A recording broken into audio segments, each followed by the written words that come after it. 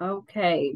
Hello, hello, hello, beauty. So today we are on one of my favorites, one of the ones that everyone is always talking about. We on day four, create and use affirmations. So take the time to work on making a good list for yourself of affirmations over the next few weeks.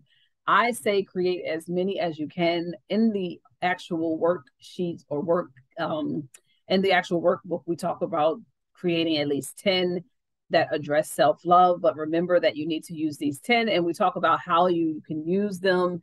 And I specifically talk about how you can carry them with you, either phone, in your notebooks.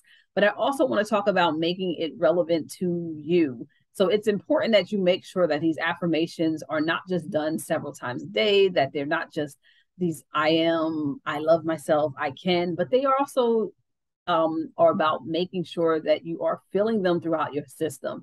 And so making sure that when you are doing affirmations, they are relevant to what you are trying to work on.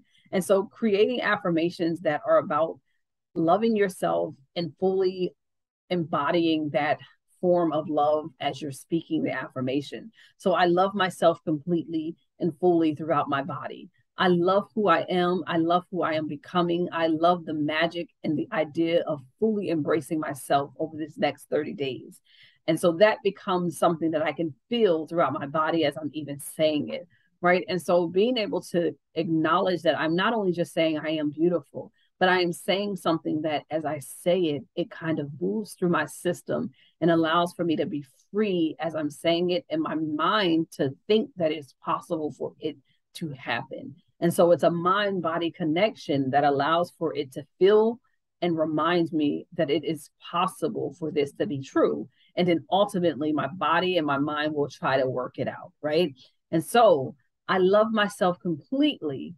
And I am trying to know that this will be the best 30 days of my self love process. I am going to work on maintaining and combining and creating affirmations that will embody the wealth and the growth of God's reflection and love inside me. Right. And so I'm going to create them so that they can be felt and believed throughout my entire system. And so as you read through and look in the journal, you get the opportunity to build a list that you will be able to reflect on, but you'll be able to use ongoingly and hopefully use not just during this 30 days, but even after. And if you like, you can also put a few of them in the chat. Do Well.